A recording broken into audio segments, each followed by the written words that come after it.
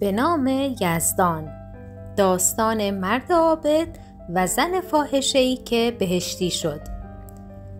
در بنی اسرائیل مرد عابدی بود که به هیچ وجه به دنیا آلوده نشده و گرد آن نگشته بود. شیطان که از وضع او رنج می برد از خشم فریادی کشید. لشکریانش به دور او جمع شدند. به آنها گفت کدام یک از شما می تواند این شخص را از راه به در کند؟ یکی گفت من. گفت از چه راهی به سراغش می روی؟ پاسخ داد از راه زنها. شیطان گفت تو حریف او نیستی چون او زنان را نیازموده و لذتی از آنها نبرده که گول بخورد. دیگری گفت من. پرسید تو از چه راهی گولش می‌زنی؟ گفت از راه بادگساری و خوشیها. به او گفت تو هم مرد این کار نیستی. چون او اهل این چیزها نیست. سومی گفت من او را گمراه می کنم پرسید از چه راهی؟ گفت از راه کار خیر. شیطان گفت برو که تو حریف او هستی. شیطانک بیامد و در برابر او جای را انتخاب و شروع به نماز خواندن کرد. و آن عابد چنان بود. که شبانه روز قدری میخوابید و استراحت می‌کرد. ولی شیطانک هیچ نمیخوابید و استراحت نداشت و یک ذره نماز می‌خواند آن مرد عابد که خود را در برابر او کم ارزش دید و عبادتش را کوچک شمرد به نزد آن شیطانک رفت و به او گفت ای بنده خدا چه چیز تو را بر این همه نماز خواندن نیرو داده؟ پاسخش را نداد. بار دوم پرسید. باز هم پاسخش را نداد. تا بار سوم که پرسید شیطانک گفت ای بنده خدا من گناهی کردم و از آن توبه نمودم و هرگاه آن گناه را به خاطر میآورم به نماز خواندن نیرو می‌گیرم. مرد عابد گفت آن گناه را به من هم بگو تا انجام دهم و به دنبالش توبه کنم و در نتیجه مثل تو بر نماز خواندن نیرو بگیرم. شیطانک به او گفت به شهر برو و سراغ زن فاحشه ای را بگیر و دو درهم به او بده و با او درآمیز و کام خود برگیر.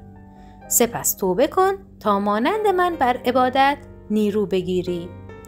عابد گفت دو درهم را از کجا بیاورم؟ من که نمی‌دانم درهم چیست. شیطانک از زیر پای خود دو درهم بیرون آورد و به او داد. عابد برخاست و با همان جامعه و لباس خود که در آن عبادت می کرد به شهر درآمد و سراغ منزل آن زن را گرفت.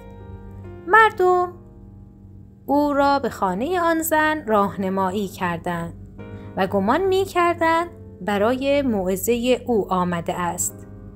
عابد به نزد آن زن رفت و دو درهم را به پیش او انداخت و گفت برخیز. زن برخاست و به درون اتاق خود رفت و به مرد عابد گفت داخل شو. عابد به درون اتاق رفت. آن زن به او گفت ای مرد تو در وضع و لباسی به خانه من آمده ای که معمولا کسی با این وضع و لباس نزد من نمی آید. شرح حال خود را برای من بازگو. عابد سرگذشت خود را برای آن زن تعریف کرد و زن گفت ای بنده خدا ترک گناه آسانتر از توبه کردن است و چنان نیست که هرگز توبه کند توبه اش پذیرفته شود به نظر می رسد که آن کس شیطانی بوده و در نظر تو مجسم شده تا تو را از راه به در کند. اکنون اگر بازگردی کسی را آنجا نخواهی دید. عابد برگشت و آن زن همان شب از دنیا رفت و چون صبح شد مردم دیدن بر در خانهاش نوشته شده بر سر جنازه این زن حاضر شوید که او از اهل بهشت است. مردم همه در شک و تردید فرو رفته بودند و به خاطر همین تردیدی که در کار او پیدا کرده بودند تا سه روز جنازش را به خاک نسپردند.